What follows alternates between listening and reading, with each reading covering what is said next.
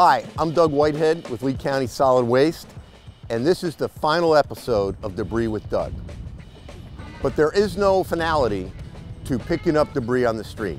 Our trucks will continue to be out there collecting material from you, the citizens, over the next weeks and months. Places such as Pine Island, Matlacha, St. James City, San Carlos, and Iona have had tremendous damage. Not just there, but those are key places. Please know that we'll be out there collecting material until the debris is gone. I want to thank all of you for putting material on the curb. We could not have collected 4 million cubic yards of material without your help. Again, thank you, and we'll continue to be out there until the mission is done.